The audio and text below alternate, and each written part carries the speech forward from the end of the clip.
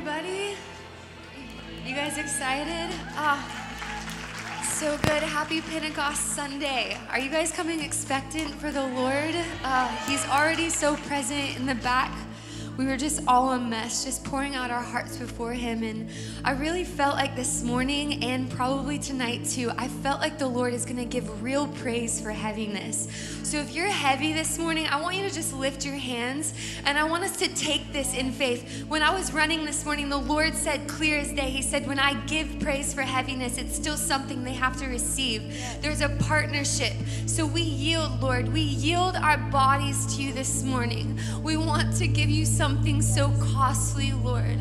We ask you, Holy Spirit, to lead us into raw, authentic worship this morning.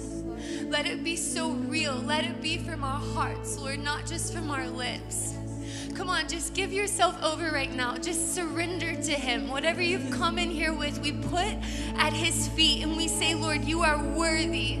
You are worthy to be gazed upon.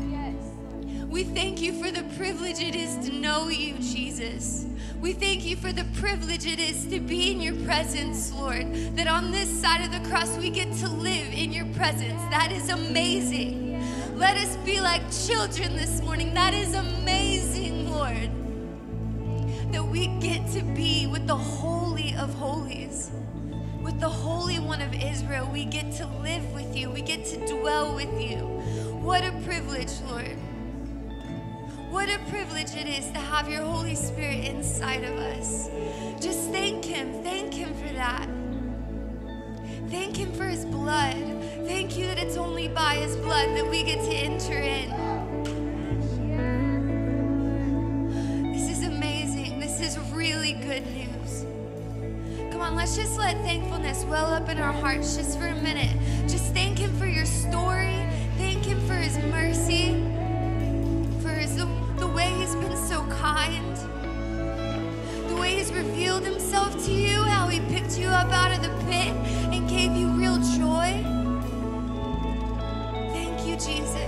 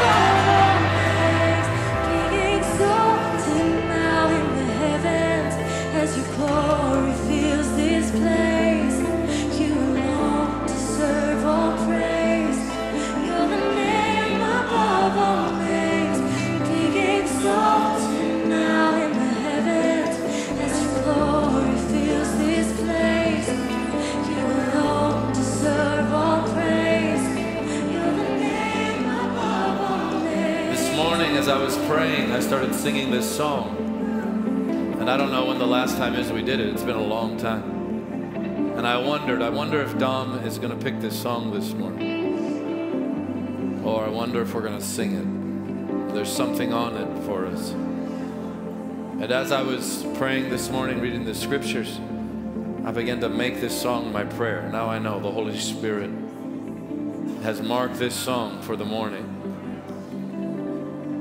I want you right now just to lift your hands and audibly begin blessing the Lord in the Spirit. Come on, just begin blessing Him. However you want to bless him, bless him.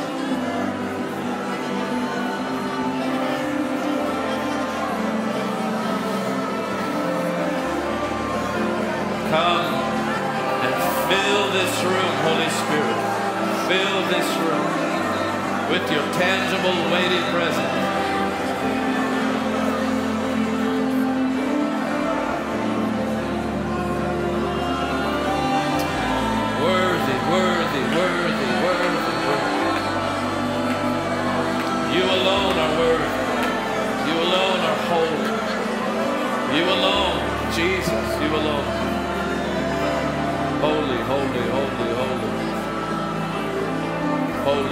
Keep blessing the Lord.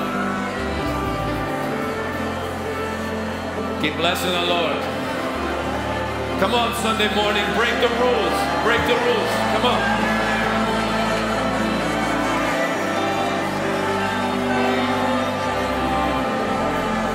Just let go of everything that has a form of godliness but no power.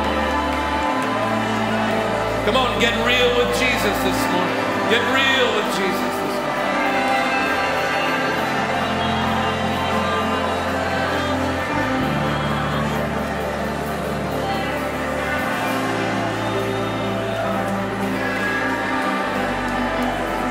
Worthy is the Lamb.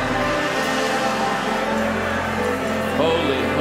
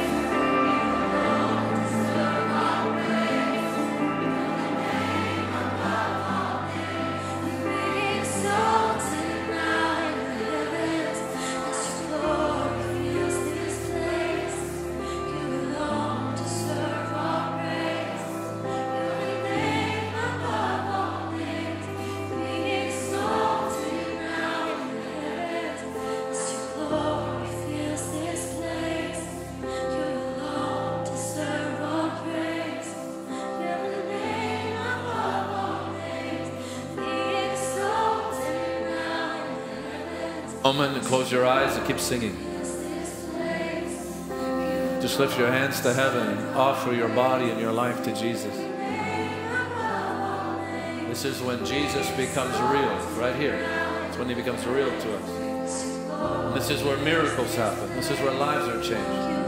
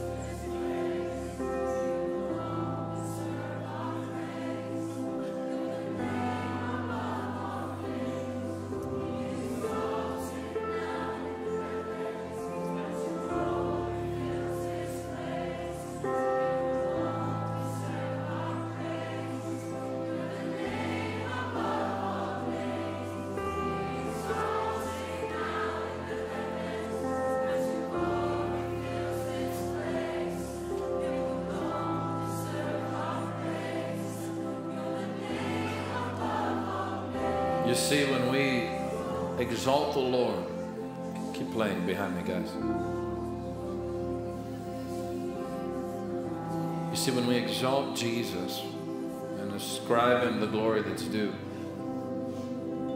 He begins to move. And we don't do it so that He moves, but that's just the way He is.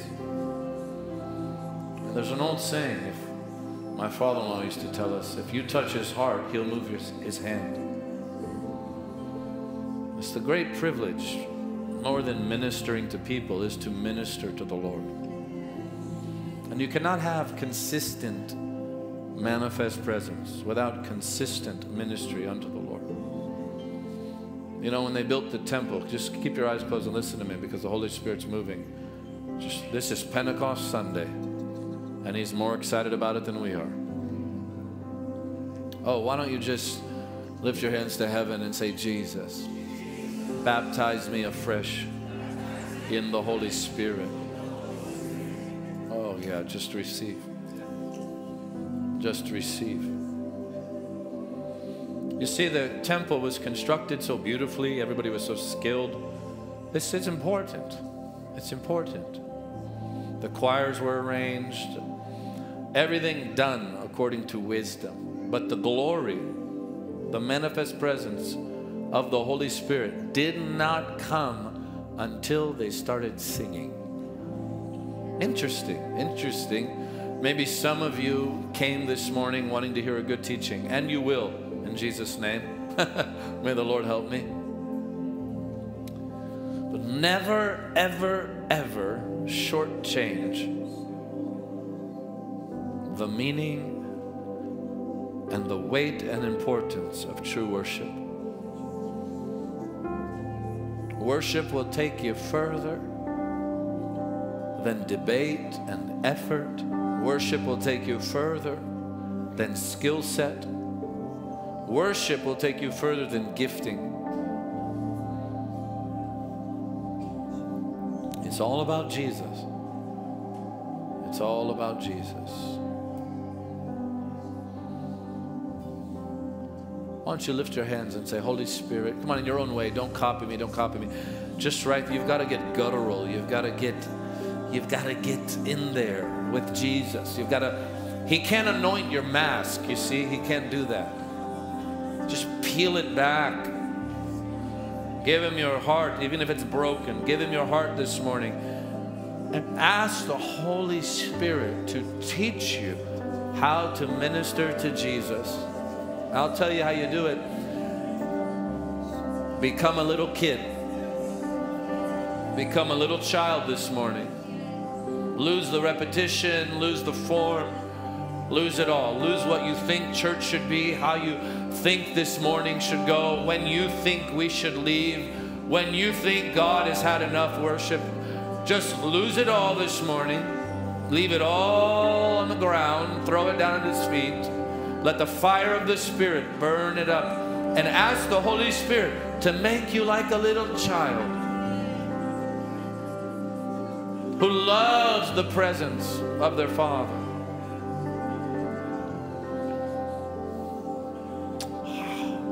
You are wonderful. Let your glory fill this place this morning.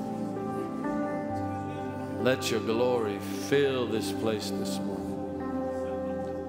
Fill this place this morning. Never underestimate the power of adoring Jesus. If you're sick this morning, just give him your body, offer it. It's this simple. Say, Jesus, here's my body. Heal me. That's all you got to do.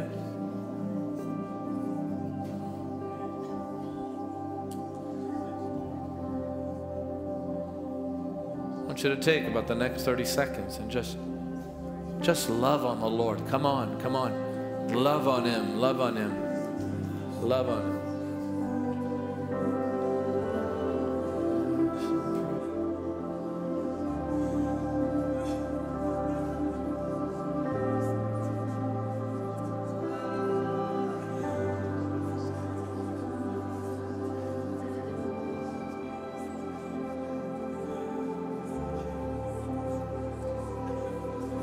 Let, let, let, let no part of your being be walled off this morning. Let, let the Lord in His loving hand reach as deep into you as He needs to go. This is where broken hearts are healed. You see, you just got to get into His presence. You just got to get in.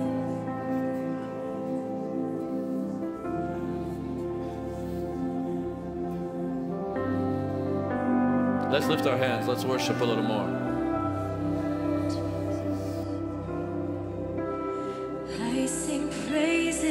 Your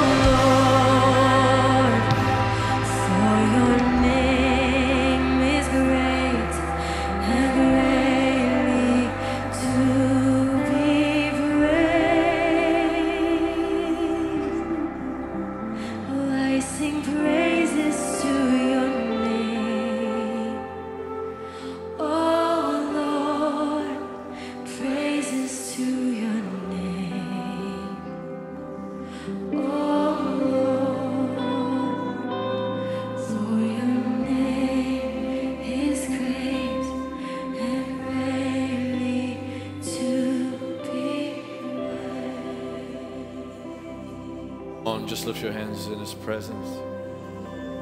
Right now, just right where you are, with your eyes closed, give Jesus your full attention. And as you do, you'll become, you'll begin to sense the presence of the Lord. That is the Lord Himself. And so, Jesus, this morning we lift our hands in your presence. We lift our hands to you because you told us to lift holy hands. Lord, my prayer for this morning is that your presence would be more real to us than our own, more real to us than problems, more real to us than challenges and sickness, more real to us than the world itself. You are our world, you're our life, and it's in you we live, move, and have our being. I just, I feel that the Lord is pouring His joy into hearts this morning. His strengthening joy. The joy of the Lord is our strength. You know, you know, right where you are, just receive the joy of the Lord. Just the, the delight. The Bible calls the presence of the Holy Spirit the river of delight.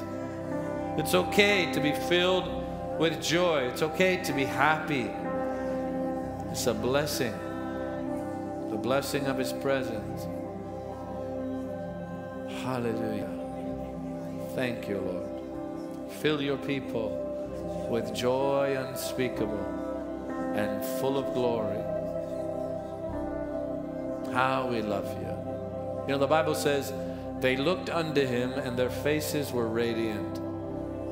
They looked to the one who shines, and so they began shining. It's the resplendent joy. You know, the, they asked the Shulamite, What is the big deal about your beloved? One of the things she said is, He is dazzling. He's shining. He shines like the sun. He is resplendent. That beautiful light, the light of His presence, Jesus Himself, is our joy. He said that. He said, I say these things that your joy might be full. Thank you, Lord. Lord, we want to get lost in your presence today. And we have no desire to recover when we leave. Hallelujah. Have your way. Have your way. Would you just lift your hands one more time? Ha- say this Lord Jesus. Come on, with boldness. Lord Jesus, have your way in me today. Do whatever you need to do, whatever you want to do. I surrender to you, Holy Spirit. In Jesus' name, amen. Now fill the house with praise. Come on, fill the house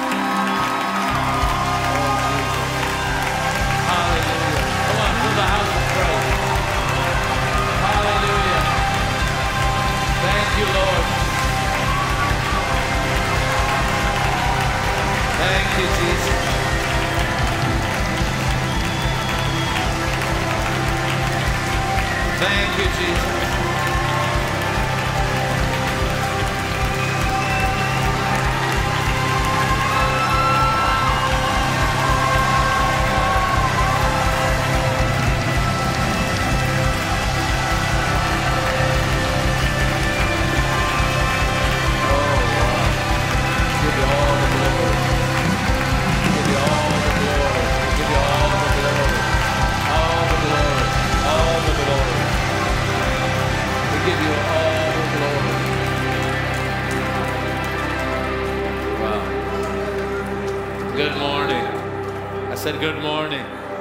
a good morning. Say it back then. Come on, say good morning. Come on, give the Lord praise one more time. One more time. Thank you, Jesus. Hallelujah. Oh, Jesus. Worship you. Oh. thank you, Lord. All right, Find a few people and love them. Come on. Tell them Jesus loves them.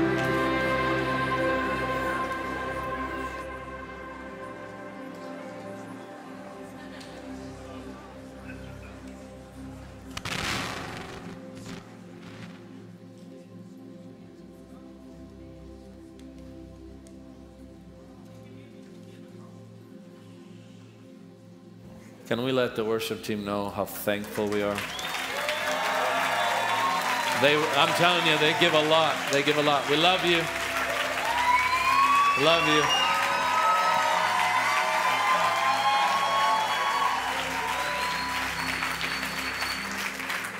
You know, I knew I loved them, but now they all wear Bass Pro Shop hats.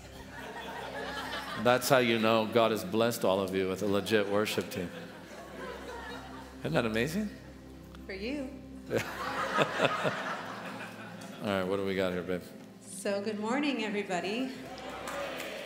So, I'm going to do a few announcements, but before I do that, um, when we were worshiping, I felt like the Lord is healing fibromyalgia this morning.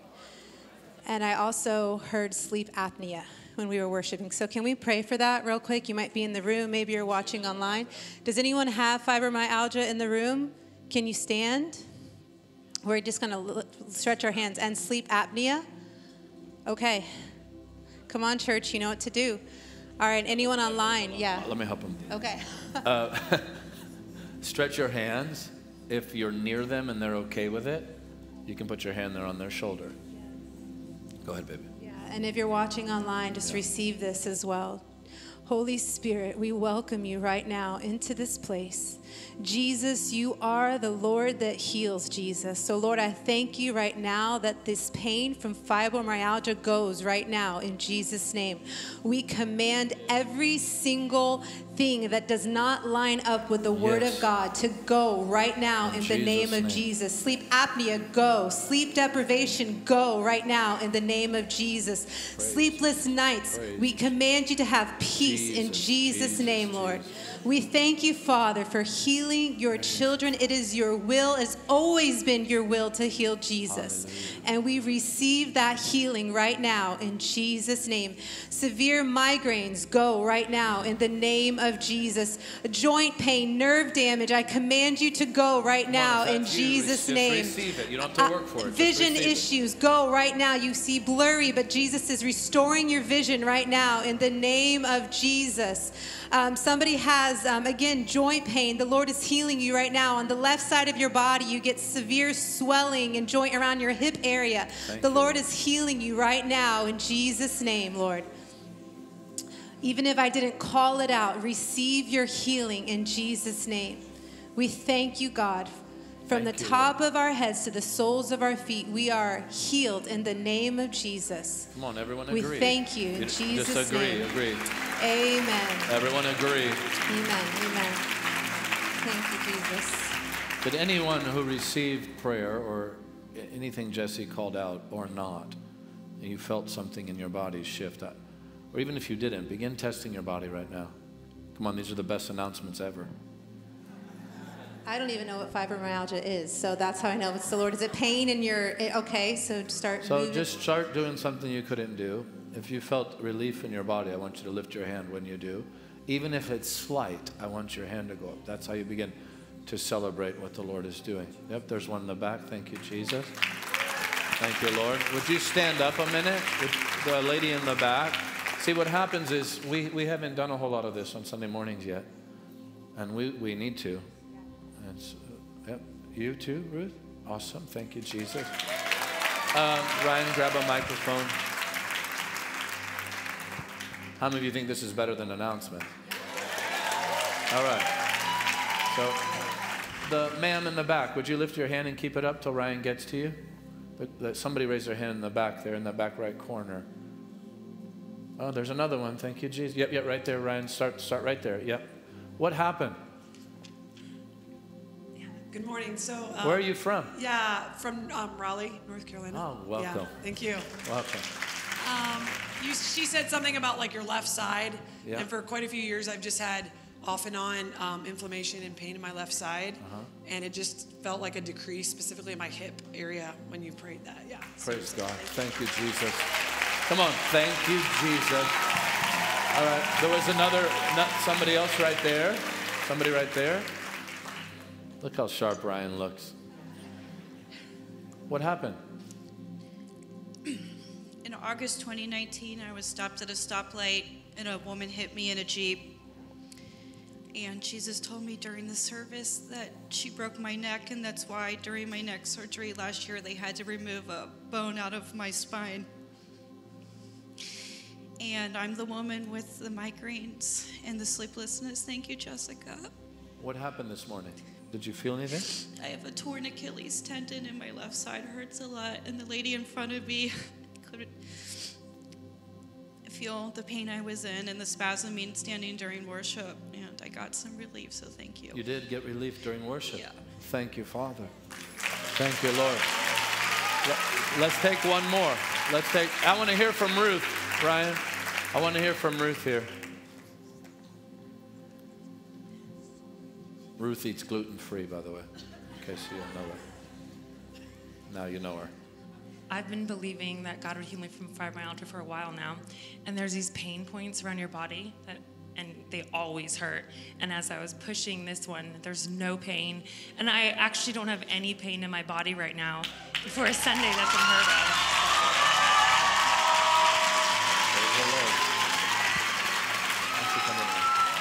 Praise the Lord.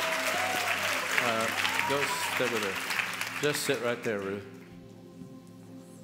Uh, when you began sharing, I felt the power of God flow.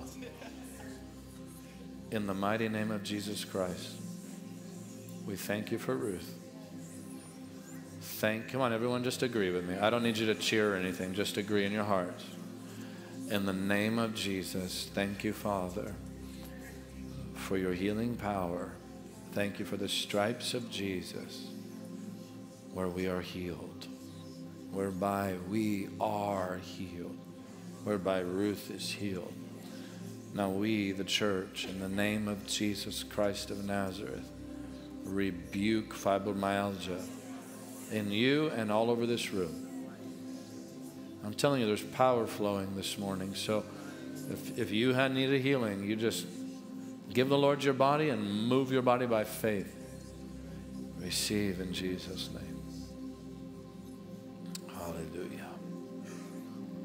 Hallelujah. Hallelujah. Thank you, Lord. Thank you, Jesus. Thank you, Lord Jesus. What do you feel, Ruth? I just feel warm. Warm. Yeah, me too. Hmm? I want to hear what she has to say. yeah. I just feel Jesus and warmth. I don't. I just don't feel any pain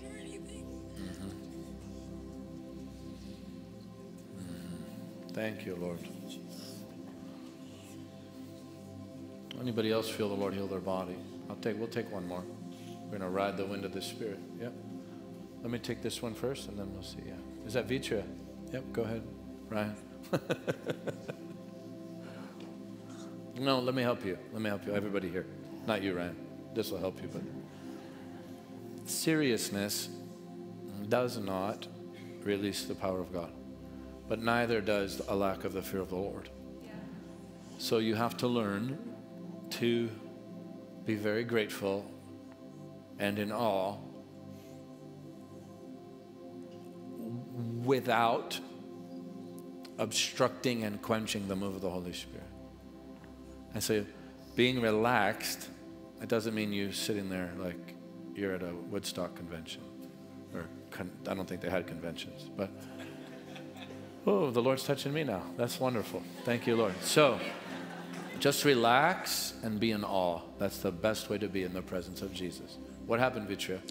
Um, I had hurt my knee working out just a few days ago, and um, the whole morning during worship, it was in pain. Um, it was hurting, but when we were praying um, for the people that you had stand up, like I felt a release, and it's not really hurting anymore. You were dancing hard earlier. yeah, Yeah. I guess.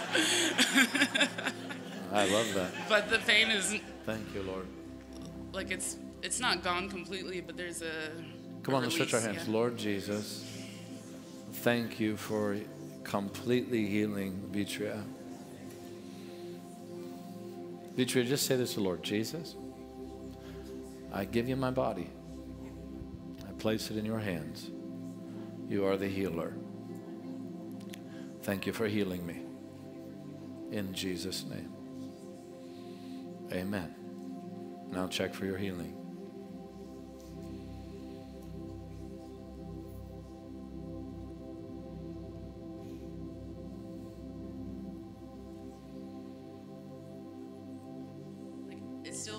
Tight, but there's not really any pain. No more So, pain? yeah. Good.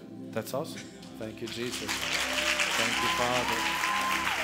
Thank you, Lord. There was one more girl, one more. One more young lady there. I saw her. She had her hand up right there in the middle. You got her, Ryan? Hi. Hi. What um, happened? Didn't you get baptized a few months ago? I did. Yeah, that was awesome.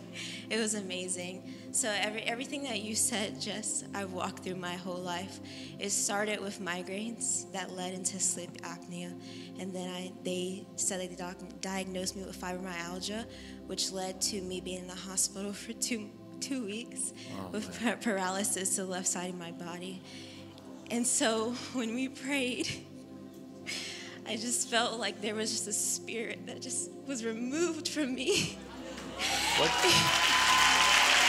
What do you mean by that? Like, tell me what that was like. It's like I don't know, like when you if you're walking through the forest and you see a very deep, dense spider web and you walk through it and now it's still on you. Well, the moment that we just prayed, the presence of the Lord just kind of like grabbed and removed it and filled it with How do you feel himself. now? I feel like I'm just a head, like nobody. like You're just- ahead? Yeah, just like just floating in the presence of the Lord. Completely. Oh, that's funny. Thank you, Lord. All right. Thank you, Lord. Thank you, Jesus. Isn't he wonderful? Isn't he trustworthy? Trustworthy. Oh, why don't you close your eyes right now and just receive the just the blessed presence of the Lord. Yeah. Just lift your hands to heaven. Say, Jesus, here I am. Fill me up today on Pentecost. Fill me up today. Thank you, Lord. Hallelujah. Hallelujah. Thank you, Lord. Is there anyone else? You felt the Lord healed you. There in the back. Let's do the one more. Come on. Isn't this awesome? What a good problem to have. Thank you, Lord. Ryan, you need to work on your routing. Hi. Hi. What happened? Um, well, during worship, I got this vision of like angels pouring oil on me, and I was like, okay, Lord, I don't know what that means, but I receive it. And um, when Jessica called out fibromyalgia, I was like, oh, that's me, Lord, that's what you were talking about.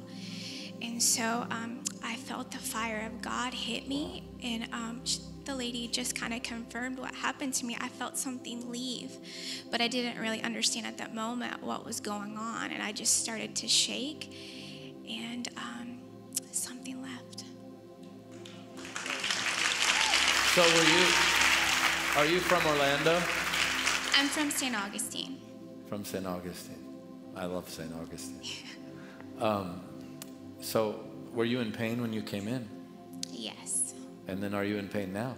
I have slight pain. I get the swelling that Jessica was talking about. Okay, and then so where was your pain when you walked in and then where would you say it is now?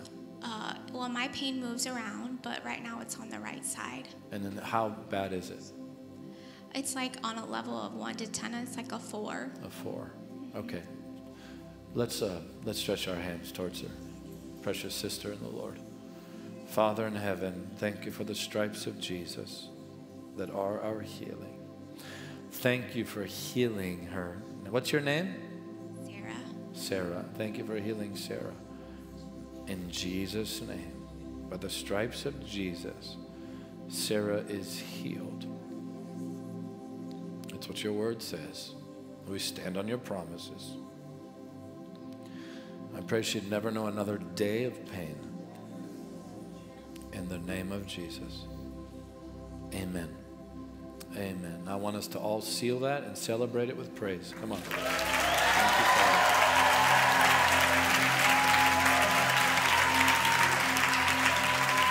Thank you, Lord. Yeah, let's all stand and give the Lord praise. Come on. Thank you, Father. Thank you, Lord. Praise you, Jesus. Praise you, Lord. All right, you can be seated. You know, when you you have to prove to the Lord that you are thankful for everything he does. And collectively as a people, as a family, we have to do that. That actually invites the Lord to come in greater measure, to come and move with greater power. You'll notice that the first people in this room, usually, to jump up and honor or jump up and thank people are our students because this is ingrained into them daily. We express our thanksgiving. Few things irritate the Lord and me, more than when God begins healing people and people sit like this. Oh man, I think some of you may have been there on a Sunday night where I lovingly dealt with that. But really, really, at the moment you begin to treat healing and miracles as common, it actually sends a message to Jesus that you're not thankful for his stripes. And by the way, he had many more than 39 wounds on his body. They may have striped him 39 times, but there were his body was covered in wounds. So so we when we thank him, we we are announcing to him to the Father, to the Holy Spirit, to the angels of heaven, to the to, to heaven itself that we are grateful for the immense price paid for our healing. And what happens is, is he begins to entrust you with greater miracles. The worldly mindset says, you know, if you've, if, if you've got such an anointing, why, why aren't uh, tumors falling out of people? I've seen that. I've seen that. I've seen, a tu- I've seen somebody spit up a tumor who had, a lady had a, a tumor in her uterus. She spit some of it up and the rest came out of her body. Let's just say that. The stuff that came up out of her mouth fell at my feet. She was completely cancer free after having stage four cancer in a moment. So I just, I just want to be clear. We've seen that. I've seen that. But if we're going to move together as a family, we have to prove to heaven that we are grateful for the allergy healing. See, everybody thinks allergies are small healing unless you've got them. You know, flu's not a big deal unless you're the one over the toilet yakking. Big deal at that point. You know, if for all those of you who've been on a Daniel fast, nobody here wants to be allergic to dairy or meat, right? It all matters when it's yours. And so that's how we want to live and be. All right? Announcements. All right. Thank you, Jesus. Yeah, the Lord's so good. I've been, I was praying for that this morning, just that the Lord would heal His people, and it just, the Holy Spirit is so amazing how He talks in that still voice, and you have a chance to respond to that and take a risk and step out in faith and maybe look stupid for a moment if you're off, or you can just trust the yielding of the Holy Spirit and, and do it. And so I'm, I'm just thankful to Jesus that that I was obedient this morning. Amen. So th- thank you. Okay. Um, so announcements. Can we put the graphic up for the members gathering? So this Tuesday, it's coming. We're into that minimal thing I told you last I week. guess so. That there it is, the announcement right there. Okay, Tuesday, correct? At Harvest Time International, which is in Sanford, Florida. What Carla, time? you might have to come give the address Carla, because What, what time? Seven. p.m. Yeah, so this is a chance for us to get to know you. We are so thankful. We're blown away. Every Sunday we walk in here and thank the Lord for what he's doing. It's still I still pinch myself and we just want to get to know you more, spend time with you. Michael and I will be there. Our whole team will be there. So this is going to be this Tuesday at seven o'clock. Carla, what's There it there it is. Okay. All right. Harvest Time International, 225 Harvest Time Drive. See how easy that address is for you to I remember? address That's amazing. This Tuesday, May Jesus 25th. Drive. That would be awesome. Yeah. Um, 7 p.m. It will help for us, if, if you could register, it will help for us to know how much um, refreshments and food to get. So please register if you are going to attend. This is for people that feel like Jesus Image is their home, it's their church, this is your family. We want to get to know you. Or if you're thinking about making Jesus Image your home church, we would love to get to know you too. So you can text 321 320 8040. You text member to that number. Yeah, and so really, we're not. I'm not going to preach. We're just going to sit down and share the vision uh, of the house with you, and um, give you the opportunity to really connect at a heart level. And then uh, we're going to take some time afterwards just to get to talk to some of you and meet you, and really looking forward to it. It's a bit difficult at times on Sundays, just because we have to prepare for Sunday night, and um, which have been electric by the way, as, as these are. Um, so this is really going to give us the time and space to, to get the time with you that we want.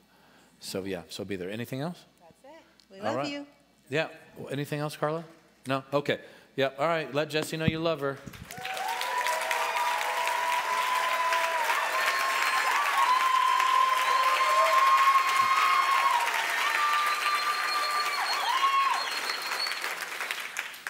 All right. You're all wild. Okay. One more. Actually, uh, this Thursday, our crew leaves uh, for our first Jesus night on the road, which will be awesome. Yep, yep. The Lord, you know, when the church began, we stopped calling the gatherings Jesus nights here in Orlando. It just became the church. As you know, they started as Jesus nights. But um, I, I felt like the Lord said, don't do away with Jesus nights. Lay it down for a season. And um, what are they texting that for? Oh, I think they're already full. Let's take that down. but um, but um, the Lord put it on my heart that they needed to hit the road and that we needed to export what the Lord was doing here around America. How many of you think America needs Jesus? All right. And that's what we're going to do. So we're going, we're uh, going to covenant houses that we have deep relationship with, and I'm so thrilled that we're starting at Upper Room.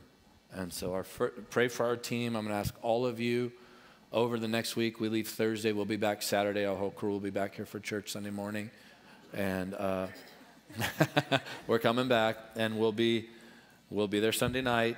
But our first one will be there, and I, I've, I've felt for a long time that God would build something beautiful here that we could give away in authenticity.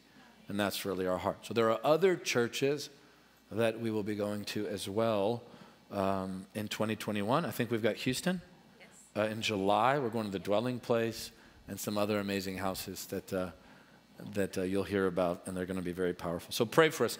I really feel like this is almost like the crusade arm of what's been birthed here at the church that what's happened here and at Jesus 20, Jesus 19 and 18, that this will start flooding America. Amen? All right, so keep us in prayer. Let's give to the Lord. Take your Bibles. Yeah, yeah, there you go, students. There you go. And, and church, there you are. I just heard you too. All right, good job. Proverbs 3 9. Proverbs 3 9.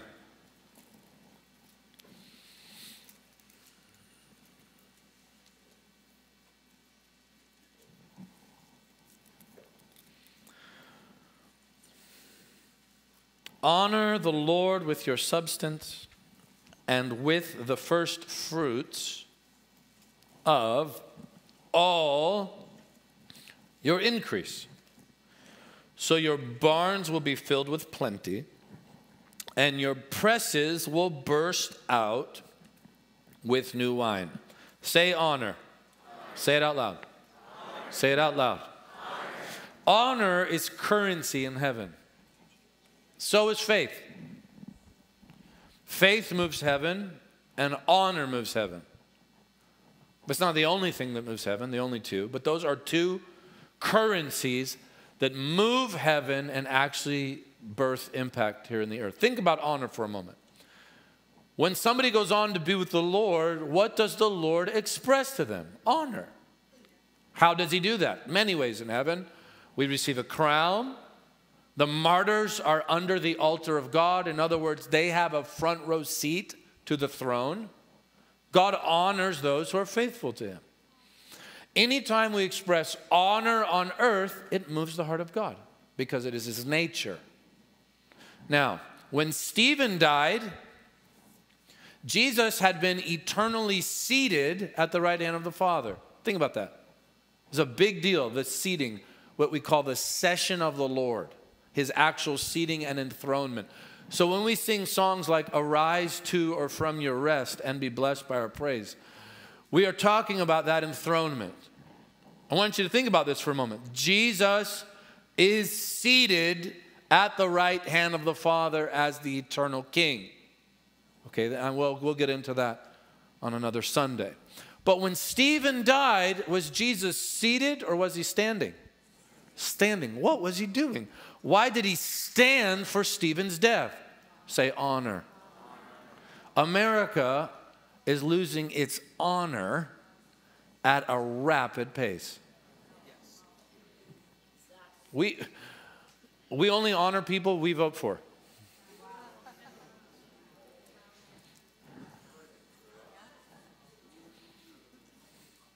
You don't have to like them, but honor is unconditional. It doesn't matter how jacked up your parents are, you honor them. Well, they did this. Now you're letting their sin become your sin. Stupid, stupid, stupid. Stupid. So stupid. But you get away from Jesus, you get stupid. the best way to get dumb is to leave the presence of God. And then you can give your stupidity away, and that becomes a culture. It's really awesome. This is the offering still. I don't know how, but we'll, we'll find our way home. Honor. Now, listen, listen, listen. Honor, when we talk about honoring our parents, for instance, Jesus connected honor to taking care of them financially. So, what we do here is we lock old people up in a home and never go visit them and tell them we're too busy to honor them because we're doing other stuff. So, Jesus actually addressed that. He said, You say you're honoring your parents because you're giving that money to the temple that he never asked for. And you've made the commandments of God null and void because of the traditions of men. So, there, Jesus connects honor to giving. All right. So it is impossible, let me say this very boldly, to fully honor the Lord and not bring him an offering. It's not to say you don't love him. I'm just saying, according to his definition of honor, that is actually connected to bringing him an offering, according to Proverbs 3. Honor the Lord with your, you tell me, you tell me what it says. With your possessions, with your wealth. So when we come into the presence of Jesus, we honor him by giving to him what he has already given to us. Say amen. That's who, that's who the Jesus people are. They actually would rather the Lord disturb them and discomfort them than be disobedient. I learned this at a young age. My parents didn't, we lived in a 700 square foot studio condo. It wasn't even a one bedroom, it was a studio. My parents slept on the bed, it had an accordion pull wall, and my brother and I each slept on the couch, on a different couch. So I understand this. But something my parents ingrained in me was it doesn't matter how things are going, we obey Jesus. That changes how things are going. Do you understand? And so I don't believe, I've been praying that the Lord would protect you during this time and what's going on in the economy. The other night I was driving home from Jacksonville. I had to go to three gas stations to, to get gas. I, I was like, man, I'm going to, Jessi's going to have to come pick me up on I 95. I couldn't find gas. The, the, the nations are, di, dis, they're being disturbed right now. I'm not just praying that God would protect you. I actually believe God will bless you so you can fund the gospel in this season. I'm not stopping at protection. I believe God can bless you so that the nations can be born again. And so, so we come into his presence with honor bursting forth, telling the Lord how grateful we are by our offering. So let's give this morning. You can text give to 321 32 if you're here. Sorry, I messed up again. Text give to the number on the screen. Did I do good, babe? All right.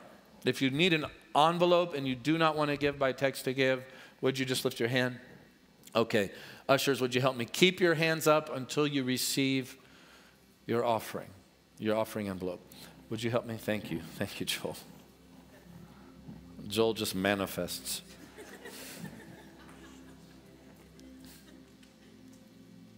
But really, look at the promise here.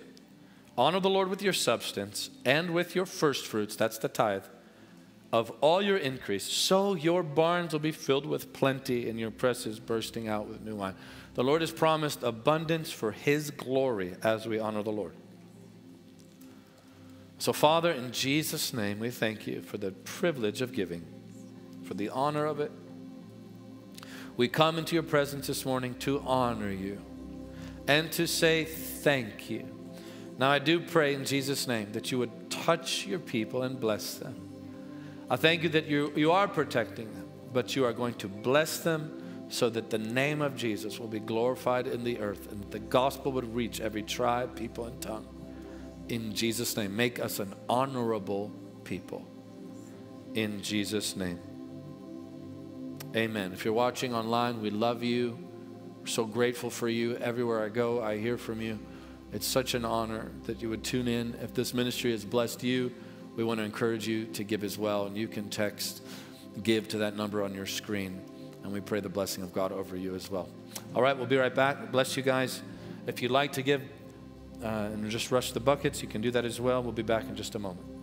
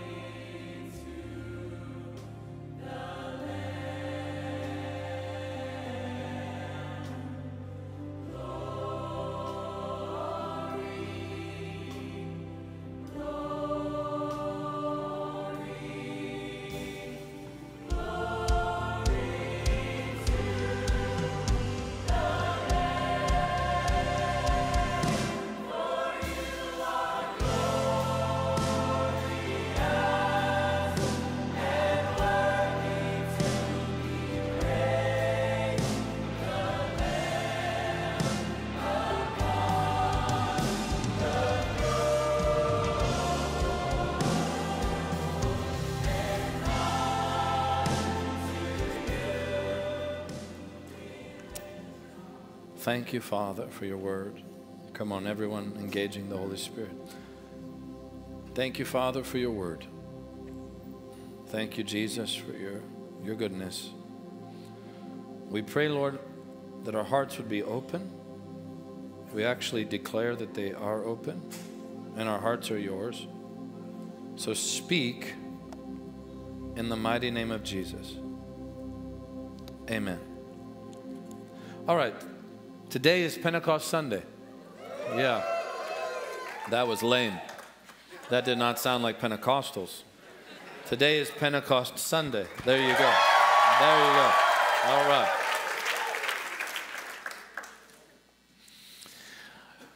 Pentecost is um, it's really a holy time.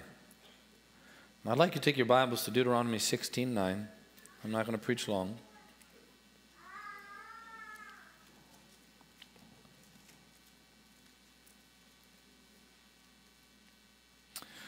Deuteronomy 16 9. You shall count seven weeks for yourself. Begin to count the seven weeks from the time you begin to put the sickle to the grain. Then you shall keep the feast of weeks to the Lord your God with the tribute of a freewill offering from your hand, which you shall give as the Lord your God blesses you. You shall rejoice before the Lord your God. It's okay to be happy. I said it's okay to be happy. You and your son and your daughter, your male servant, your female servant, the Levite who is within your gates, the stranger and the fatherless, and the widow who are among you at the place where the Lord your God chooses to make his name abide. And you shall remember that you were a slave in Egypt, and you shall be careful to observe these statutes. Seven times seven is 49. Pentecost is called basically the day of 50, measuring 50 days from Passover to Pentecost. All right. Now, it was known as the Feast of Weeks, and the harvest was celebrated. Let me explain that to you. Well, actually, let me back up. A few things were celebrated on Pentecost. One, first fruits. Bring the Lord an offering, first fruits. Deuteronomy. Number two, the harvest, the Feast of Wheat or the harvest. Number three, as we move into the book of Acts, obviously the Lord poured out his spirit on that day. Now, when did Jesus ascend to the right hand of the Father? How many days after his resurrection? 40. Say 40. All right, all right. Get you that Bible reading plan. We'll get it to you. 40 days after Jesus' resurrection, he ascended on high. Okay, he was raised from the dead on the third day, between the third day and the 40th day, he was appearing to people. I'm going to get stuck there if I jump on that rabbit trail. But that's pretty amazing. He walked through a wall and had the holy audacity to tell the disciples, Peace be unto you. Now, how many of you know if someone comes through a wall with a body, you're probably not at peace initially. You would think, well, it was Jesus. No, no, they were freaked out, and that's why he said, Peace, peace I give you. Okay? If I saw an angel, I wouldn't be afraid. Yeah, you would. They all say, Fear not. Every one of them says, Fear not in the Bible. You would. You absolutely would. So Jesus appears to the two disciples on the road to Emmaus, talks to them, eats with them, Amazingly, their eyes aren't open to recognize him until he has a meal with them. Communion's powerful. Come to the table. That old song, Come and Dine, Come and Dine. Wasn't your dad singing that to me the other night? Come and dine. Something happens when you eat with other believers in the presence of Jesus. You come to the table of the Lord, your eyes open. They could not see Jesus until they ate with him. So Jesus is not a historical figure for your PowerPoint. Of course, you can't see him. If you just want him to be your help, you know, the guy who helps you along, oh, I've never seen. No, no, no. You come to him to chew on him and meditate on him through the scriptures, your eyes open to see him. So he appeared. On the 40th day, by the Spirit, he was taken to heaven. We call that the ascension. We touched on that last week. Now, Pentecost is on the 50th day. All right, you ready? You guys ready for some uh, advanced honors math here? How many days between 40 and 50? Oh, we have the wisest. We are, we're going to put all of y'all into a Britannica convention. Spelling bee, math stuff, science. You get you over to the science place. The science, what is that place called? The Science Center. Jessi loves it there. Jess could be mayor of Orlando. She loves everything in Orlando. She's the only person who doesn't mind I 4. That's how I knew we were called here. All right. 10 days. Are you ready now? Pentecost on the 50th day, he ascended on the 40th day, taken to heaven by the Spirit, basically lifted by his Father by the Spirit, enthroned, and 10 days later, Pentecost comes. All right. The scriptures teach that the disciples were in one accord for those, two, those 10 days praying. A 10 day prayer meeting. 10 day prayer meeting. and they had just walked with Jesus for three and a half years. Now, most people would say that their resume was weighty enough to begin their ministry without waiting on the Lord for 10 days and without the empowerment of the Spirit. Now, most people manage, or I should say, they focus, they major on the words of the Great Commission, which, by the way, it is a Great Commission. But what we fail to remember is that it is a commission, not a mission. Unless he goes with you, you're on your own. I tried that and it doesn't work. And a lot of people try that. A lot of people call themselves, a lot of people want to anoint themselves, a lot of people start 501c3s on the computer. It doesn't mean they have ministry. Okay. What we fail to remember too often is that yes, Jesus said, go into the world and make disciples. That's what we're doing here. It's why we have cameras. It's why we have events. It's why we gather the masses. It's why we disciple. Yeah, of course, of course. But that, listen carefully, only happens if you wait in Jerusalem and are endued with power from on high. See, we remember the go, but the wait makes us really uncomfortable.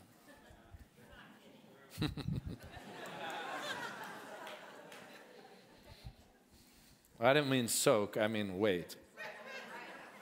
I don't mean sloking, sleeping and soaking. Like they, one of the kids, when our kids were at school in Redding, the, the chaplain of the kids got up during chapel. He goes, Guys, no sloking today. I go, What is sloking? The little kids would be checking out on the beanbags, acting like they were praying. They'd be sleeping. Called it sloking. All right. So here you have the disciples, 120. Does anybody remember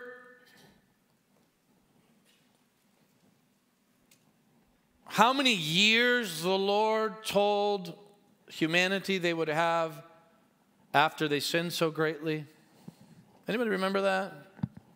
Say 120. It is found in Genesis chapter 6, verse 3. Let me read it to you. My spirit shall not strive with man forever, for he is indeed flesh. Say flesh. Yet his days shall be 120 years. So the Lord was so grieved, he called out the fleshiness, the fleshliness of men and women. And, and, and told them their days on earth would be 120 years. I don't think it's irresponsible scripturally to connect the word, the number 120 with the flesh. So I'm going somewhere here. Last week we talked about how beautiful and pleasant it is for brethren to dwell together in unity. You know this from the Psalms. It is like the oil being poured out upon the head of Aaron. Aaron is a type and shadow of Jesus.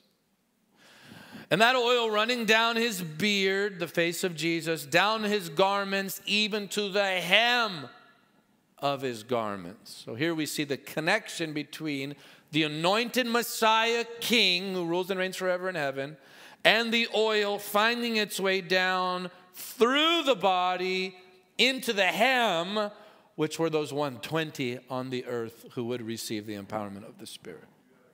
All right. We talked about that last week. Isn't this wonderful? All right. How many of you remember a tower in the Old Testament that reached really high?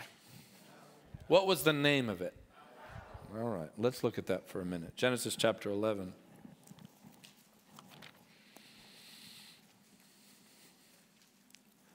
Now the whole earth had one language and one speech. Say speech. And it came to pass as they journeyed from the east that they found a plain in the land of Shinar, and they dwelt there. Then they said to one another, Come, let us make bricks and bake them thoroughly. They had brick for stone, and they had asphalt for mortar, and they said, Come, let us build ourselves. Say those two words build ourselves. Say it again build ourselves. A city and a tower whose top is in the heavens. Let us make a name for ourselves. Say ourselves. Lest we be scattered abroad over the face of the whole earth. But the Lord came down to see the city and the tower which the sons of men had built. And the Lord said, Indeed, the people are one, and they all have one language, and this is what they begin to do. Now, nothing that they propose to do will be withheld from them. Come, let us us, God is three in one, go down and there confuse their language that they may not understand one another's speech. So the Lord scattered them abroad from there over the face of all the earth, and they ceased building the city. Therefore, its name is called Babel, because there the Lord confused the language of all the earth, and from there the Lord scattered them abroad over the face of the earth. Who built Babel? Say people. All right, hold on here. Babel began on the ground. Man said, I will build this. So Babel moved from the ground up. That is always the direction of the flesh. It starts with me. I will do it. I've got this. I know how to build. I just need to find a bunch of people who talk like I do, and I'll use that unyielded, unsurrendered unity, and we will do great things for God. God doesn't need us to do great things for Him. God only receives what He does Himself. No flesh, 120, no flesh shall glory in His presence. See, what we cannot do is raise people up into believing that if they start something, God will eventually bless it. No, He will not. God only blesses what God births. If God has not birthed it, God will not bless it. Wait ye in Jerusalem until you are endued with power from on high before you go, catch fire. That's basically what Jesus said. Babel, the work of the flesh, the culture of Babylon is to build something great, and the motive is look, it's right there in your Bibles that we would be known on the earth.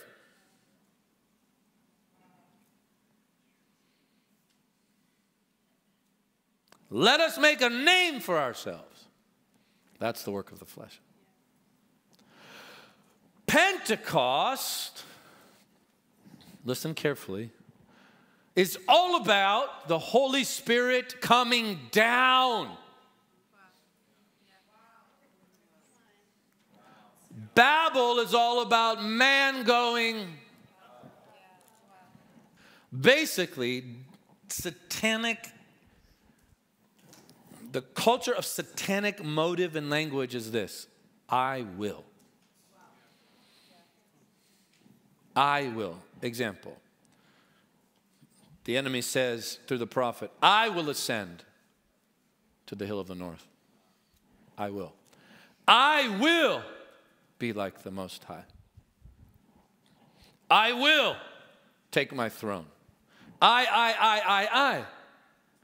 Then you have Jesus, who I love, I love what Bill Johnson says. It's not the opposite of the devil. The devil's not that good. he says the devil is the opposite of like Michael and Gabriel.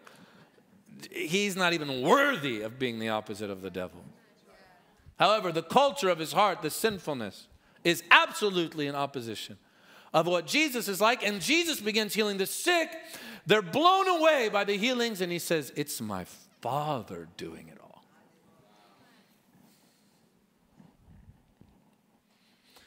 Was Jesus doing it? Of course, but it was the Father in him, and Jesus refused to point to anyone else.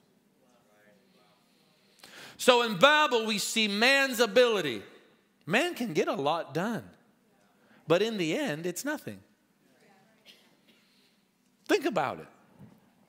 Think about, can I have 10 more minutes? We got sidetracked by miracles. Praise Jesus. Praise Jesus.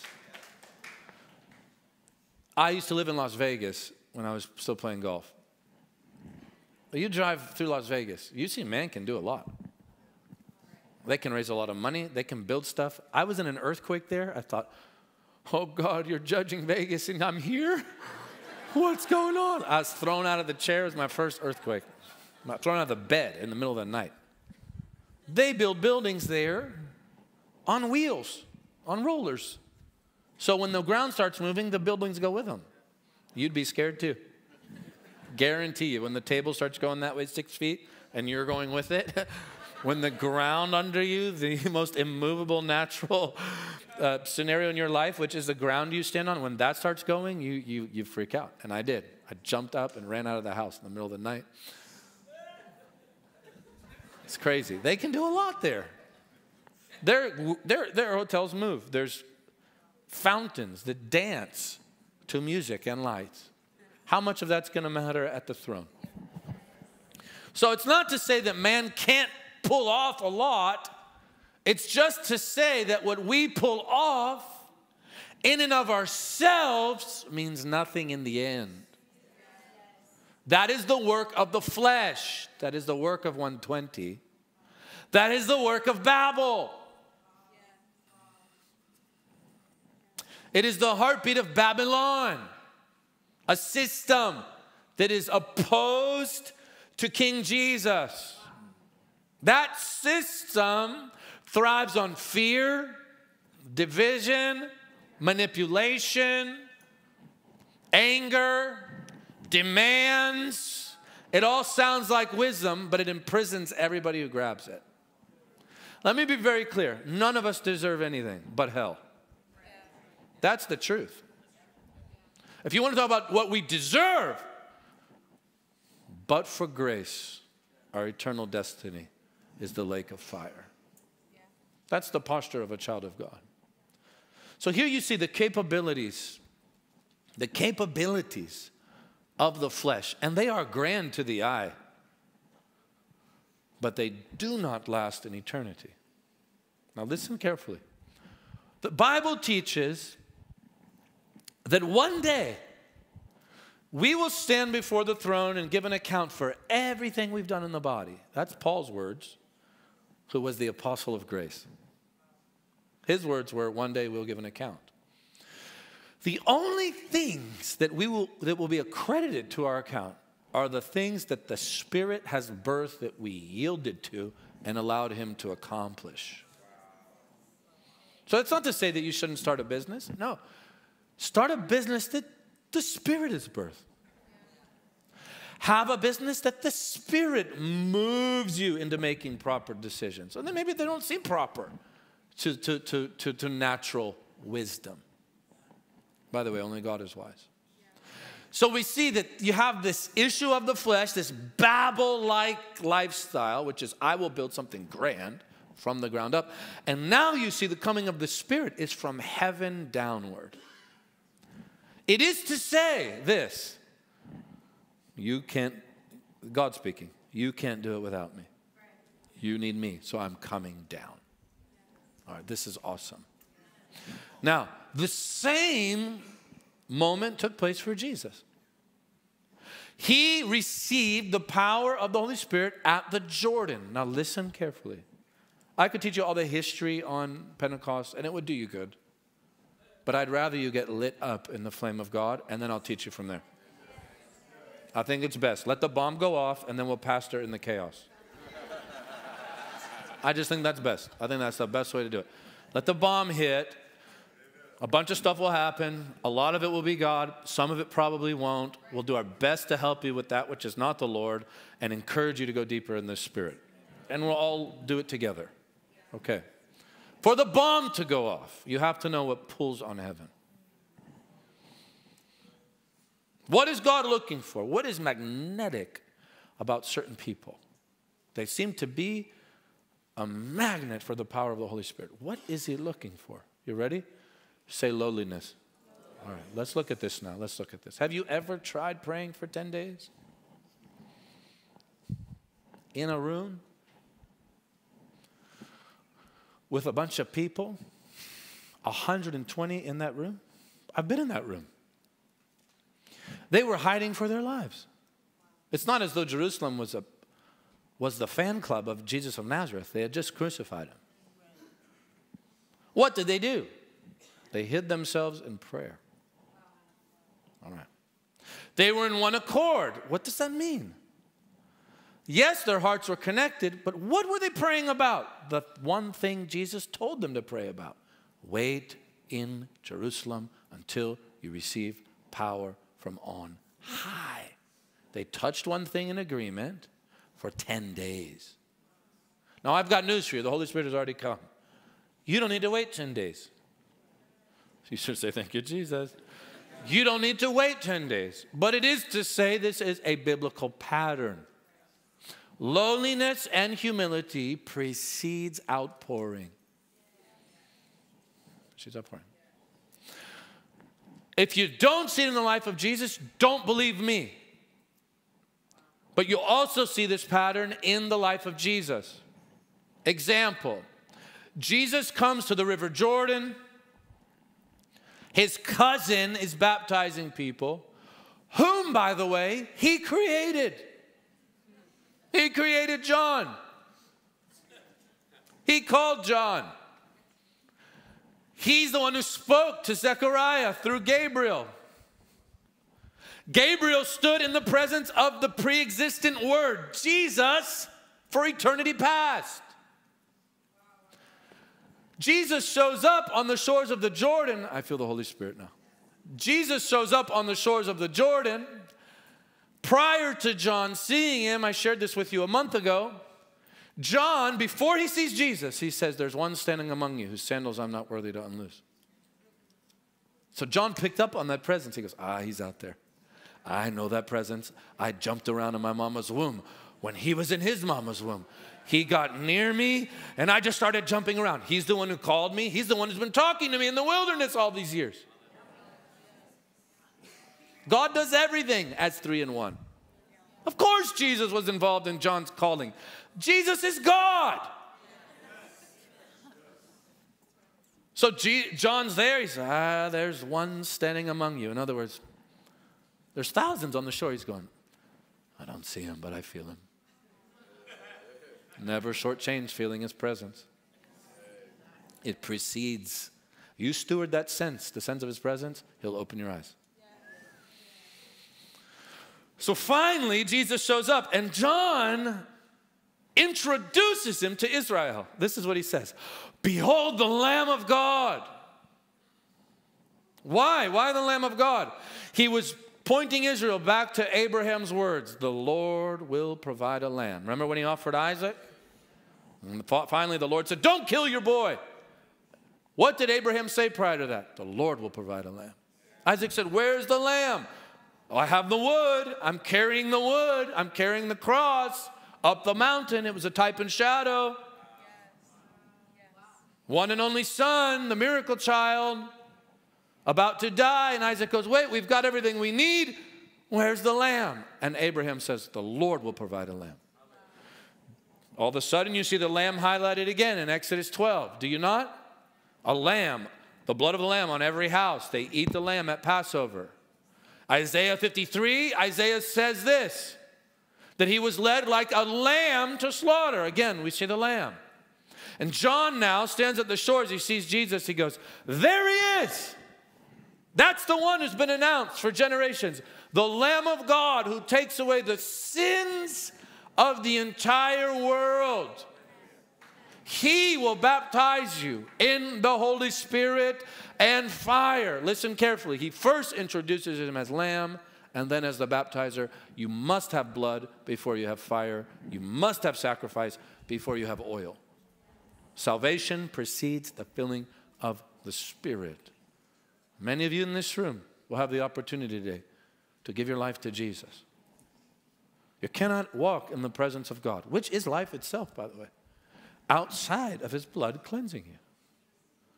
To not live under the blood is to live under the influence of the world. It's to live in darkness, the Bible says. Is to live in opposition of God.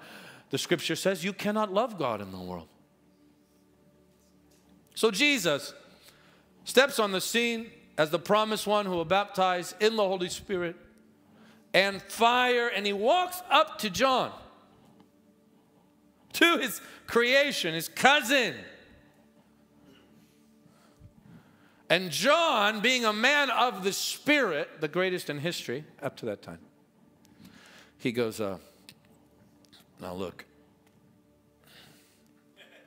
I know who you are. I've known you since I was in my mama's womb. One thing I do know, uh, I shouldn't be baptizing you. Like, I may not know everything. But the one thing I get right now is that uh, you should baptize me. he knew Jesus was of the ancient past. You can't get around his presence and hear his voice and not recognize him when he comes your way. So he goes, uh, This isn't right. You baptize me. And Jesus says, For righteousness' sake, let's do it. What was John's baptism unto? Say repentance. Did Jesus have to repent of anything? Why was he being baptized? To identify with you, to become the true replacement, the true pattern son, the true offering who could identify with us on every front. Jesus knows what it's like to be a baby, which makes him the Savior who can identify on all fronts. So Jesus says, No, for righteousness' sake, do it. And John baptizes the Lord. Quick question when you're baptized, does your body go up or down? Say humility. Mm. When you wash people's feet, do you go up or down? When Babel was built, did it go up or down? Up. When the devil wanted to take the throne, did he want to go up or down? The pattern of Jesus is to go low. Is to go low, to be baptized by his cousin. And then what happened? The heavens opened. And the Spirit came down. It will always be that pattern. God will clothe the humble with his very glory. That's why the Bible says, don't promote yourself. He exalts, listen, the lowly, exalts the humble, and resists the proud. proud is Babel, the lowly come down. With every head bowed and eye closed. This morning, I want to tell you on this, every head bowed and eye closed, please. I want to tell you on this wonderful, amazing day, this holy day of Pentecost, if you have never lived a life in the presence of God, you don't know the Holy Spirit, you can. You can. Salvation is not just about getting rid of your sin, it's about God, the Holy Spirit, coming to live inside of you forever and ever. He literally has given us His very own Spirit. And in His Spirit is righteousness, peace, joy, freedom from sin. Listen carefully freedom from bondage. Jesus said, This is eternal life, that they might know the one true God and Jesus Christ, whom you've sent. You can really know Jesus. Eternal life is not just going to heaven forever, though that is part of the, of, of the blessedness of it. Eternal life is living a life now free, knowing that God has made you righteous. Listen carefully. God doesn't give you your own new righteousness when you come to Jesus, He gives you His Son's own righteousness, and you become the very righteousness of God. If you're not in peace, it's because Jesus is not in the boat. Jesus says again this morning, My peace I give to you.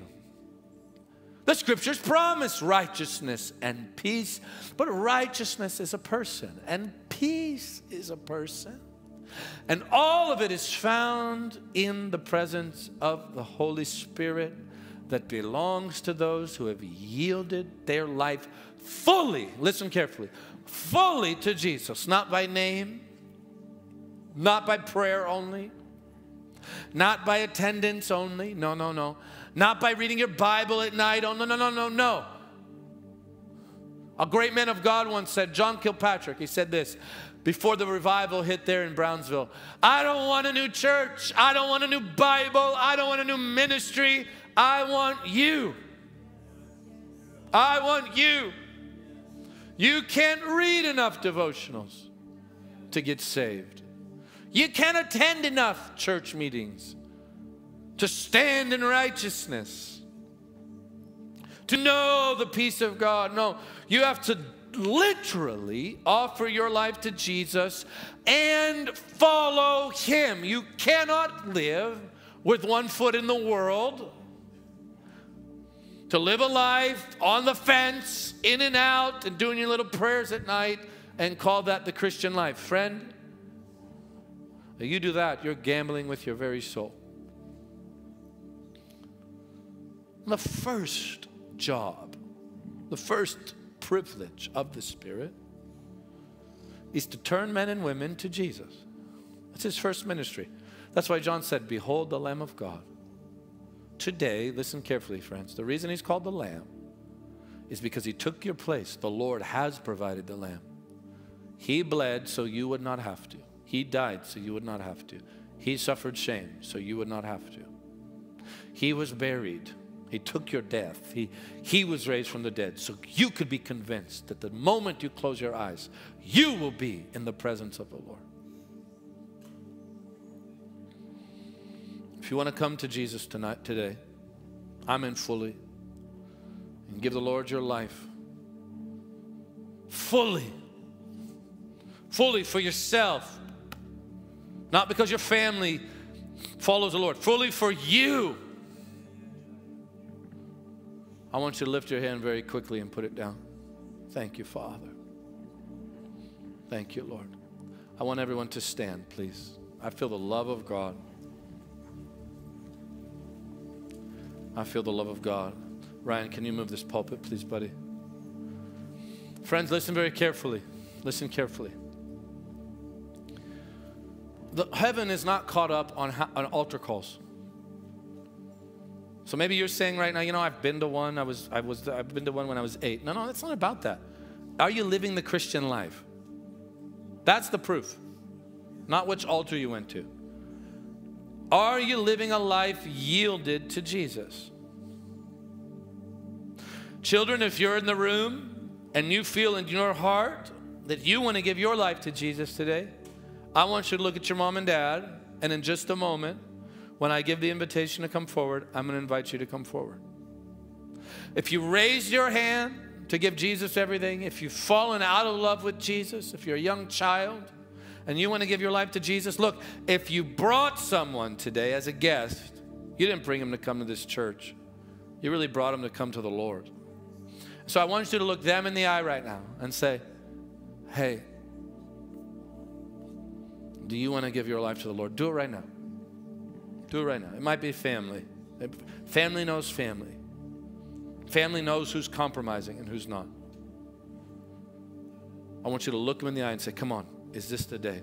If, listen carefully, if you raise your hand or you wish you did, if I'm talking to anybody here in this room and you feel drawn to Jesus this morning to give him all and surrender, I want you to get out of your seat. I don't want you to think about it. Jesus said, If you acknowledge me before men, I will acknowledge you before the Father. If you deny me before men, I will deny you before the Father. Get out of your seat. Come forward right now. Meet me here at the altar. I want us to give the Lord praise. Come on. Come on, sweets.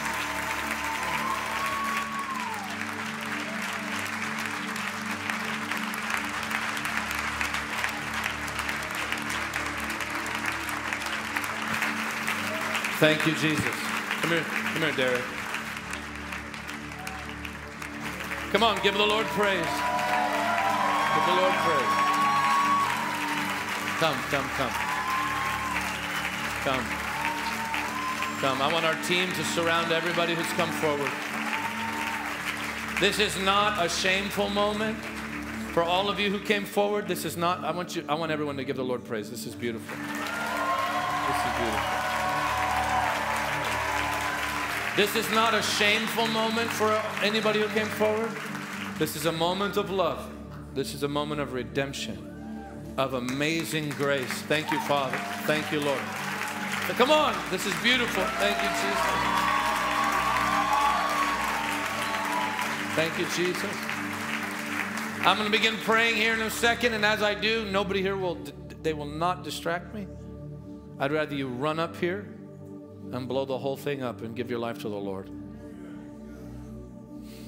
But for those of you who came forward, this is not a time of shame. You're coming to the one who promised to never turn you away. And he loves you. He loves you dearly. He's already touching him. The Holy Spirit's already falling on him. Now, for those of you who come forward, we're going to give our lives away. That's what you're going to do right now. You're going to give your life to Jesus. He's going to take it, nail it to the cross, and give you his own life. And he's going to live his life through you. He's going to free you from every bondage. He's going to wash you clean, and hear me well, and never remind you of your sin again. Never again. He will never remind you again. There's no sin that you've committed that is too strong for the blood of Jesus. I'll never forget a man who was locked in a hole, being tortured for the gospel in Siberia. They left him there for a week, stripped him naked in the snow, tied him to the sides of this hole, left him outdoors. When his torturers came back, oh, this wasn't way back when, by the way.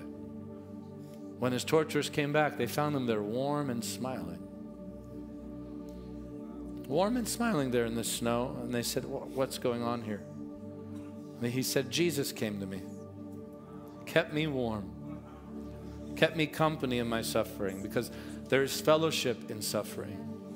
That's Jesus. And he asked Jesus, where he is naked, Jesus came, exposed and in shame. He said, Jesus, what do you want? What do I have to give you? I have nothing to offer you. He said, Give me your sin. Give me your sin. The Lamb of God, it's what He does. He takes sin. He became our sin and He destroys sin and gives you a new life. I want all of us to pray out loud. I want those in their seats to stretch their hands towards these precious children of God. And I want everyone who's come forward just to lift your hands in the presence of the Lord. And I want every every person in here to, to pray this boldly. Heavenly Father, I come to you this morning having sinned against you. I am sorry. Forgive my sin. Wash me in the blood of Jesus. Cleanse my soul. Jesus, I believe that you are the Son of God, that you died on the cross and gave your life for me. You shed your blood for me. Thank you for dying for me. I don't deserve it. Jesus, I believe that you were buried and raised from the dead as the Son of God. You are God Almighty. Jesus, I believe that you ascended to heaven and you're seated at the right hand of the Father and that you're coming back again. Make me ready for your coming. Okay, this is the precious moment. Say, Jesus, I give you my life. I repent of my sin. Come and live in my heart. I am yours, and you are mine. In Jesus' name. Hallelujah. Jose, come around here. I feel the Lord. You, all of you, just gently pray in the Spirit. God's going to begin filling these, these precious people. I don't want her to fall, though. Hold her up. Joe, just put your hand there. Yeah, you too. Come, wonderful Holy Spirit. Fill her to overflowing. Thank you for newness of life and the fire of God and a new future. Receive the blessed presence of the Holy Spirit, of the Holy Spirit. A fresh and filling. A new beginning. A fresh and filling. Come, Holy Spirit. Guys, keep praying. As you're praying, God is filling them up. Receive. What's your name? Abraham. Preach the gospel. Receive fire from heaven. Receive the love of God, Darren. The blessed fire of the Holy Spirit. Newness of life. Receive, receive,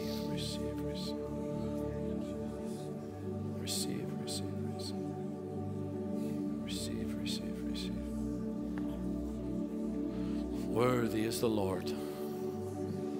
Oh, he's touching them, guys. Lord, let your gentle, gentle love fill them.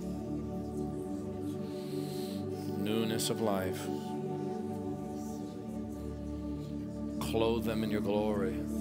I'm telling you, there's power flowing here that's amazing. Hold him up. In Jesus' name, fill him.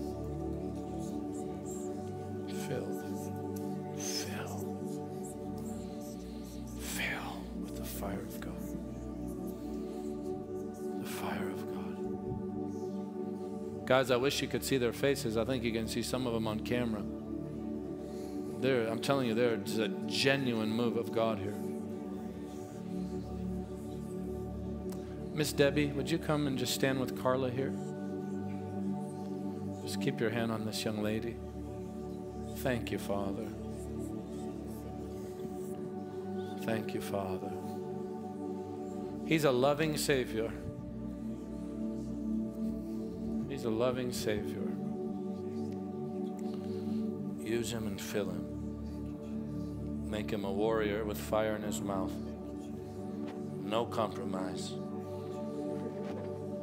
Give him the word of the Lord. In Jesus' name. Hallelujah. Hallelujah. You lift your hands there in your seats. Come on, this is precious. Father, clothe the people, clothe us all, clothe us all in your glory and presence. Let us live in Pentecost. Let us live in the presence of the Holy Spirit. Fill every, come on, come on, just, oh, I remember that old song. Here's my cup, Lord, I lift it up, Lord. Come and fill this, this craving in my soul. Come and quench this thirsting in my souls. Lord Jesus, fill the people from head to toe this morning. Fill them. Fill them. Every person here be refreshed in the presence of the Holy Spirit. Thank you, Lord. Thank you, Lord. What a morning. I said, What a morning. People saved and healed and being filled with the Holy Spirit and the precious Word of God. Oh, Jesus, thank you. Thank you. Thank you for this morning.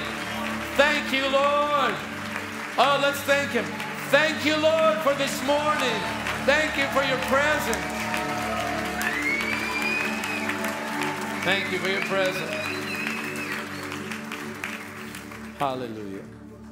The Lord is good. May the Lord bless you. If you need prayer in just a moment, I just want to give about another minute here. In just a moment, I'd like our prayer team to come forward. If you need prayer, you'll line up in the center aisle. Our team is here. They're amazingly anointed. They will pray with you. I would highly recommend coming tonight. The Lord is going to move in power and glorify the name of Jesus. God bless you. Have an amazing, amazing day in the presence of Jesus. Now, very quickly, for those of you who came forward, where are you, Dion? Dion, when we're done, I just want you to I want you to rally them up and then take them over to the new believers table. Just going to equip you and help you. Not going to bother you, I promise. So Dion, would you do that with them now? Prayer team come up in about 1 minute, okay? God bless you. Let's give the Lord praise.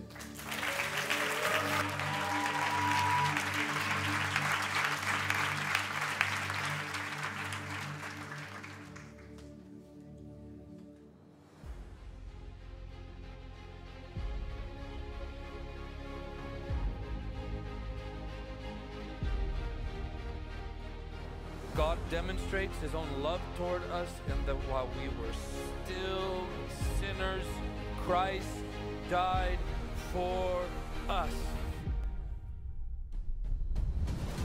Jesus shed his blood.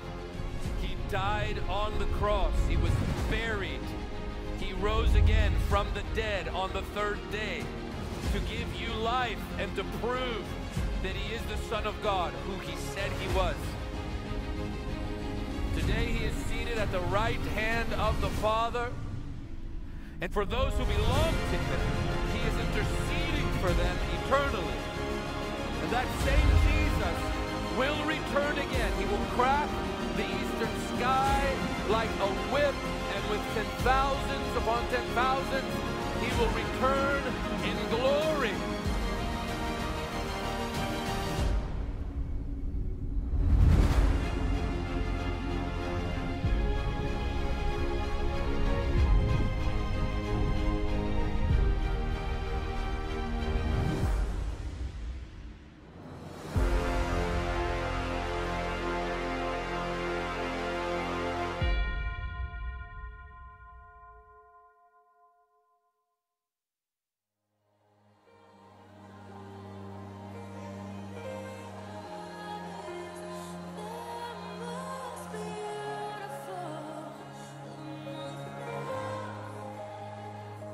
In 2017, we received a word from Lou Engle that we really believe is the word of the Lord for our school, our house, and the entire ministry.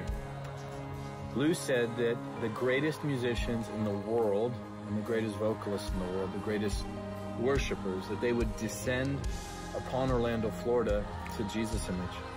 And that word began to burn in us, and we began to dream about what it would look like to one day have a school where people would come to worship Jesus and be in his presence and receive his word. And then a church was birthed in that same worshiping atmosphere. And what a beautiful opportunity that we have as a Jesus people to come before him and to be at his feet and to pour ourselves out before him. Worship has the potential to unlock things that really nothing else in the world can unlock. And so we decided about a year ago to launch a an opportunity within the Jesus school setting for those worshipers, for the musicians, for the singers, for the dancers, for the artists, for the poets. And this is going to be a place where you can come and you can learn and you can grow. And we have highly trained instructors who are going to be coming. They're going to be teaching instruments. They're going to be teaching vocals. Anything that you can think of with worship, it's going to be there. The worship is not about us. We worship for Him. So we want to invite you to come.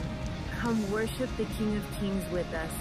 So come and be a part of what the Lord is doing. Come and give your heart to the Lord. Come and surrender yourself to the Lord. And let's be ones that are willing to rise and go. And we decided to name it after Bethany, that wonderful house where Jesus was ministered to, that place where the feelings of Jesus were preeminent. It was a place where he desired to not only move and work and teach and do wonderful things, but a place where he would be adored, a place where he would rest, a place where he would run to so that he would receive ministry. And so now Jesus School has this space that's been created for all of you who are desiring to use your vocal gifts, your instrumental gifts, your gifts of worship, your dancing gifts, and give them to Jesus. That Jesus would make this a Bethany, that he'd make our lives a Bethany, where he'd come and rest and recline among us.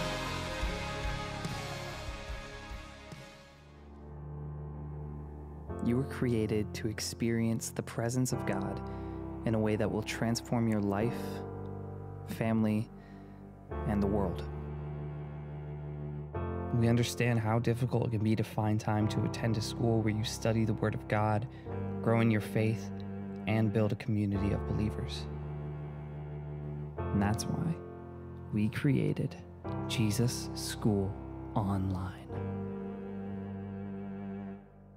We believe that the Holy Spirit is unlimited in His reach. No matter where you live or what stage of life you're in, we invite you to take part in this amazing online opportunity. You'll be led by world renowned speakers and worship leaders.